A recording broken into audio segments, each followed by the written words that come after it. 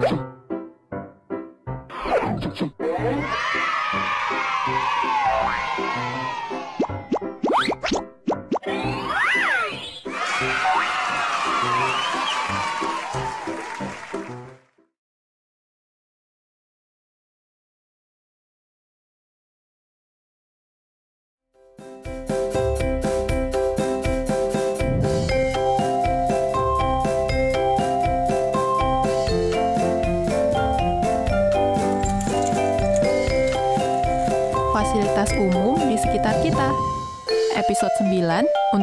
Teman-teman kelas 1.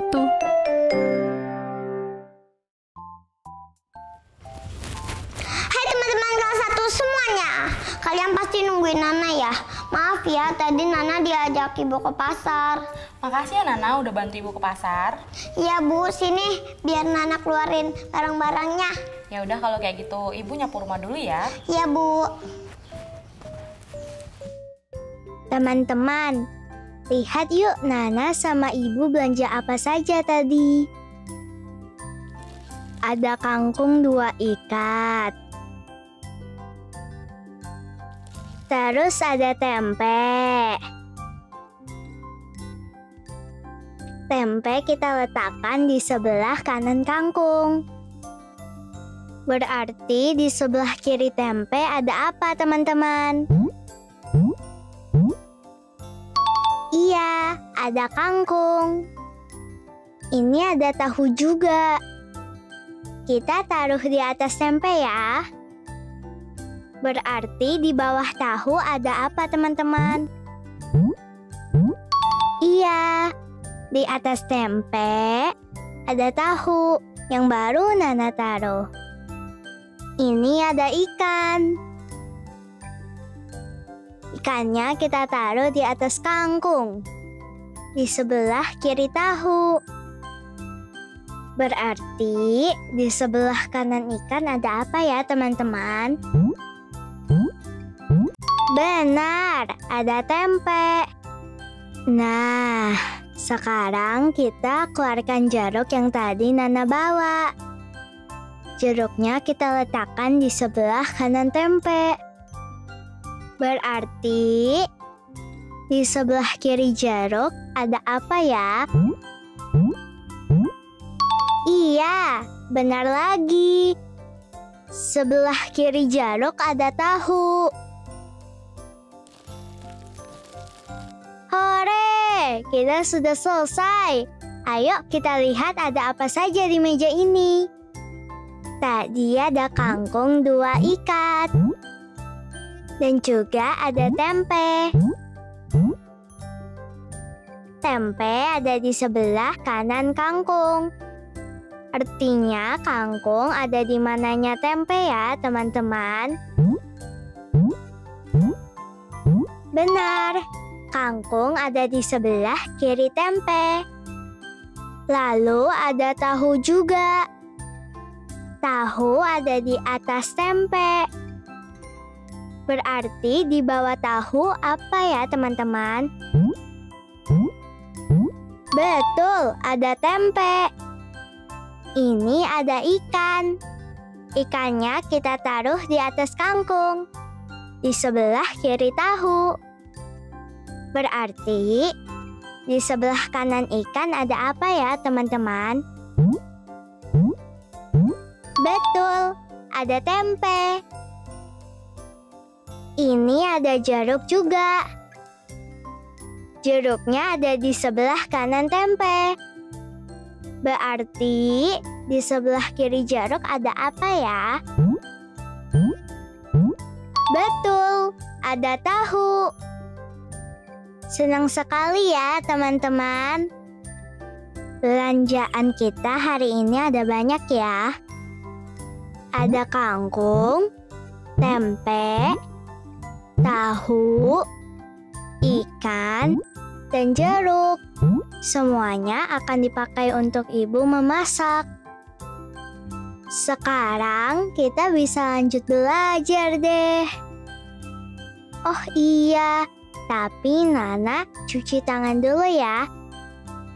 Teman-teman, jangan lupa untuk cuci tangan juga ya. setelah melakukan pekerjaan. Nana cuci tangan dulu ya. Dadah teman-teman.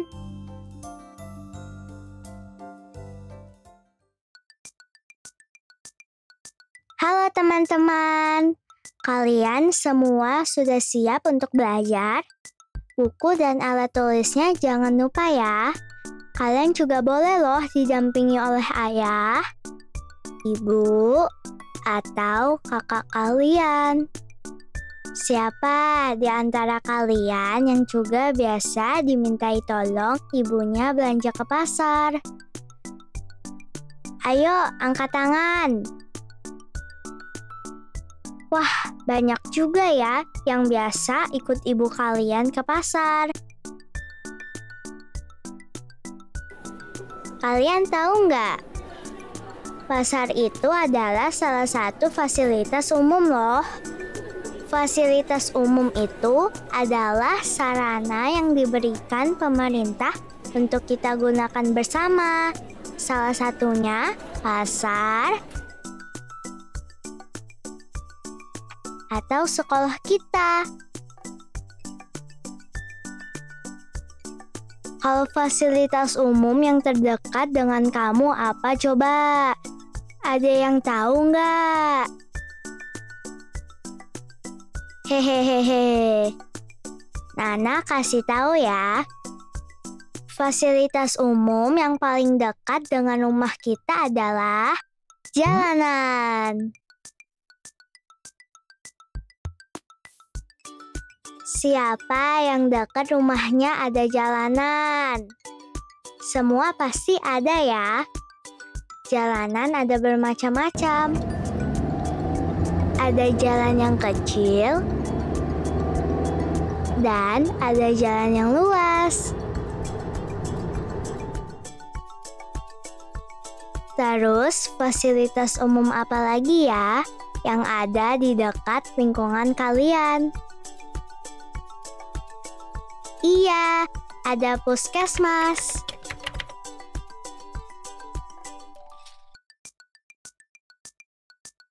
Sekolah.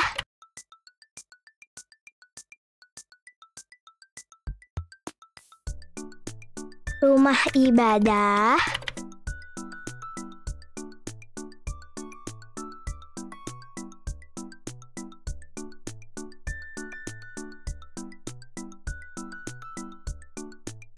halte bus.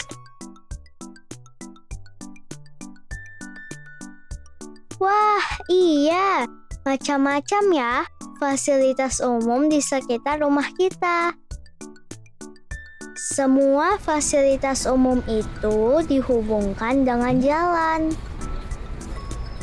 Jalan membuat kita bisa menuju ke semua fasilitas umum dengan lancar.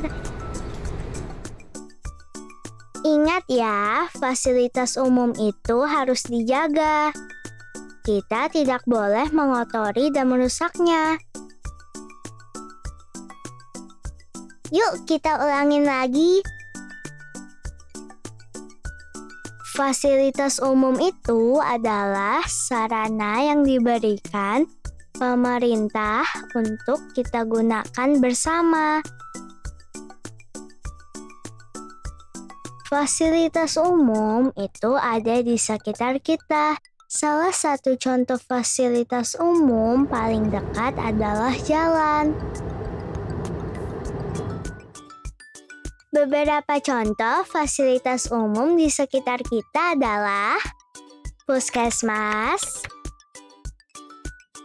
sekolah, rumah ibadah,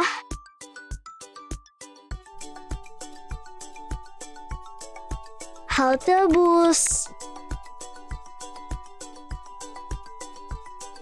Fasilitas umum harus dipelihara ya. Jangan dirusak karena untuk kepentingan bersama. Sekarang kita istirahat dulu yuk sebentar. Tapi kalian jangan ke mana-mana. Karena setelah ini kita akan baca cerita bersama.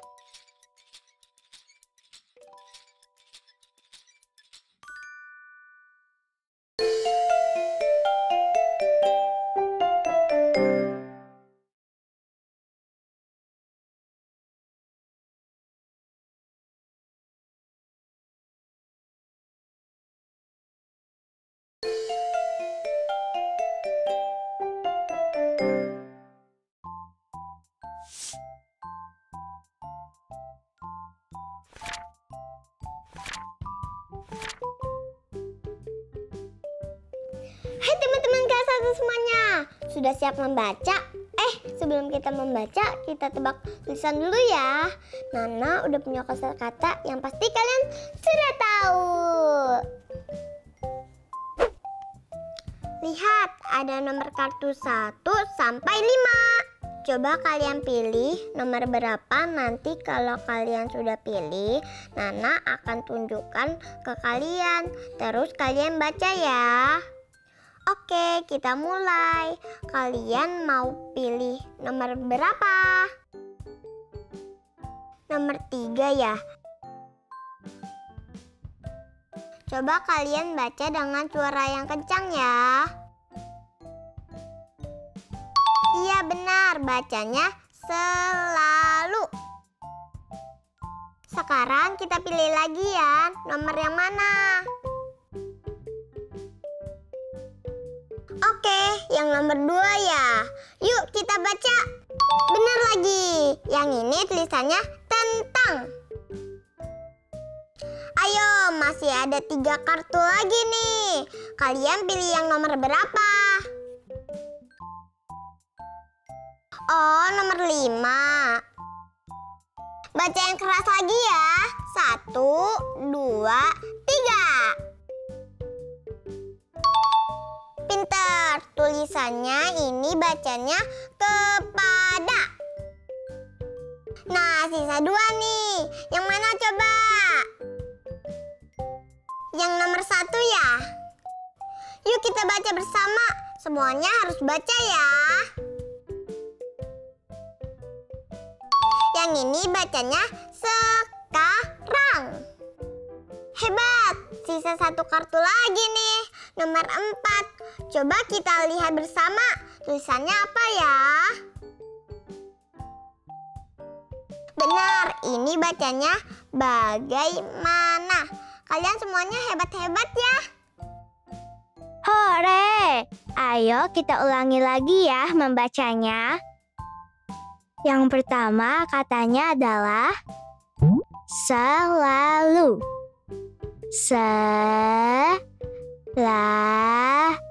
Selalu. Coba kalian baca dengan suara yang kencang ya. Sekali lagi. Selalu.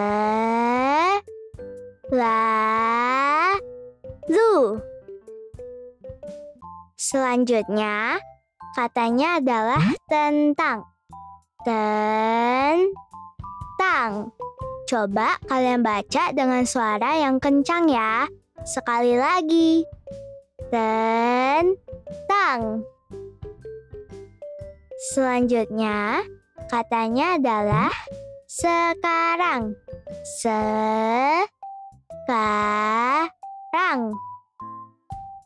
Coba kalian baca dengan suara yang kencang ya. Sekali lagi. Sekarang. Selanjutnya, katanya adalah kepada. Kepada.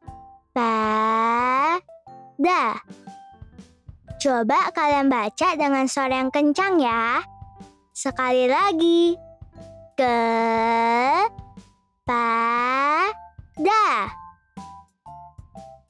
Selanjutnya, katanya adalah bagaimana.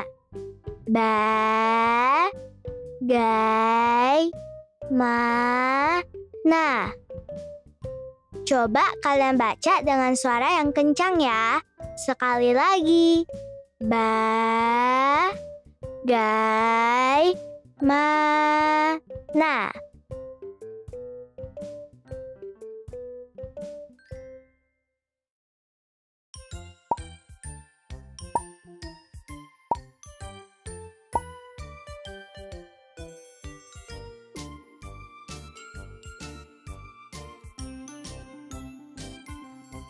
Teman-teman, yuk sekarang kita membaca bersama.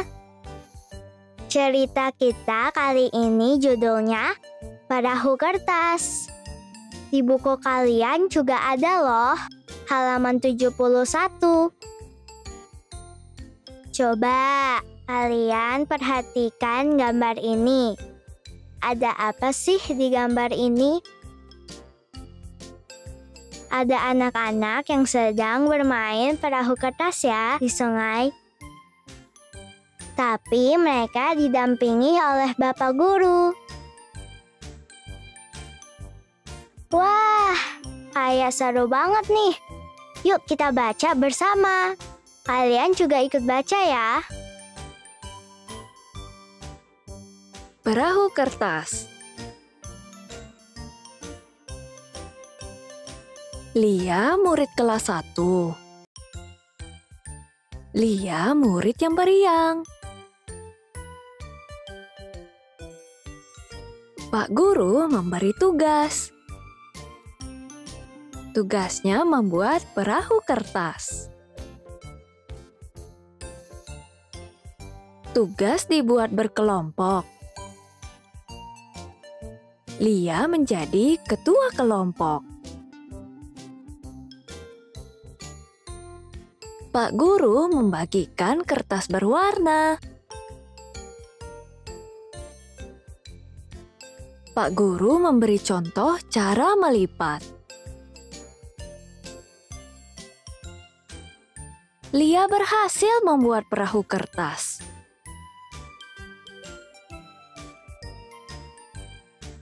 Lia membantu temannya membuat perahu kertas. Mereka berhasil membuat perahu kertas. Pak guru mengajak keluar kelas. Semua murid pergi keluar kelas. Di luar kelas ada kolam. Perahu kertas ditaruh di atas air. Perahu kertas mengapung di air. Mereka gembira sekali.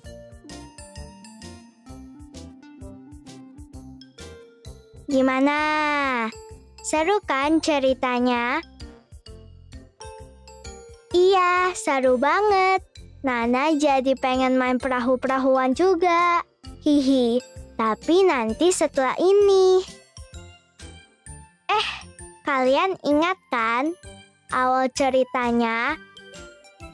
Coba ceritain ke aku apa yang terjadi di awal cerita.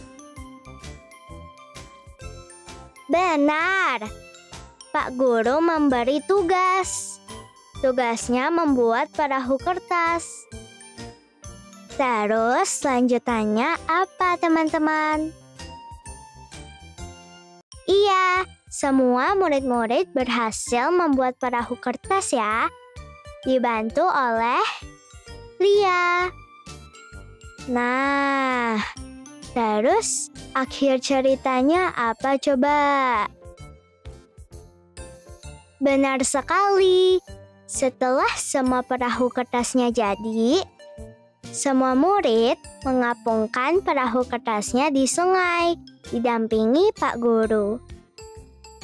Nah, siapa di antara kalian yang bisa membuat perahu kertas? Semuanya bisa. Hmm, memang teman-teman kelas 1 hebat-hebat semuanya. Sekarang kita main apa lagi ya yang seru?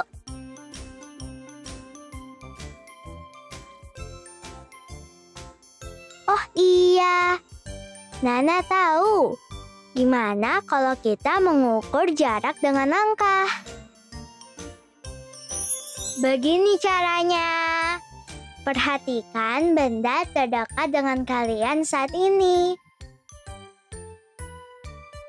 Lalu, kita melangkah ke sana sambil dihitung langkahnya. Kalian lihat meja yang ada di dekat aku kan? Bagus. Sekarang aku akan melangkah ke meja itu sambil menghitung langkahnya. Kita hitung langkahnya bersama ya. Suaranya tapi harus keras. Oke, kita mulai ya. Satu langkah, dua langkah, tiga langkah, empat langkah, lima langkah, enam langkah. Sampai deh ke meja. Berarti jarak Nana ke meja ada enam langkah. Mudah kan? Ayo kita ulangi sekali lagi ya.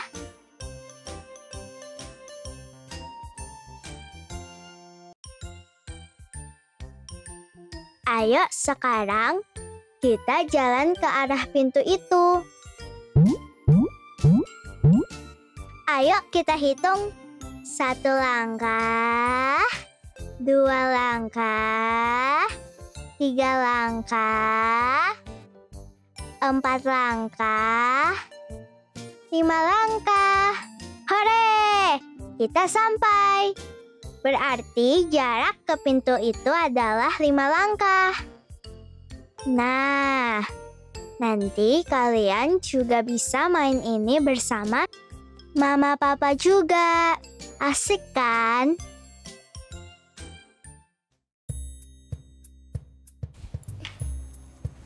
Hai teman-teman, kita sudah belajar sambil bermain.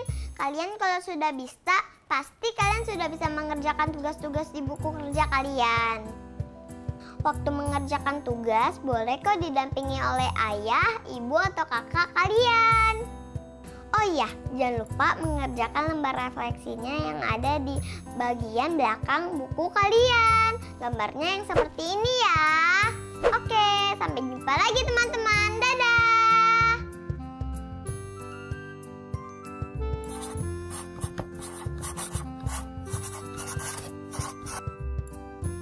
Tadi kita sudah membantu ibu untuk mengeluarkan barang belanjaannya ya.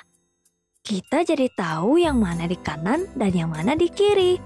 Kita juga belajar fasilitas umum di sekitar kita. Seperti jalan, puskesmas, sekolah, dan rumah ibadah. Fasilitas umum itu harus kita jaga dan pelihara ya, teman-teman. Nah, siapa yang suka main tebak tulisan? Jangan lupa kata-kata yang sudah kalian baca ya. Kalau aku suka banget sama cerita perahu kertas yang tadi kita baca bersama. Aku jadi ingin membuat perahu kertasnya juga. Teman-teman ada yang bisa membuat perahu kertas? Ajarin aku ya kapan-kapan caranya. Kita juga belajar menghitung jarak dengan langkah. Siapa yang sudah mengukur jarak dengan langkah ke benda-benda yang dekat rumah kalian juga? Sekian pembelajaran kita hari ini.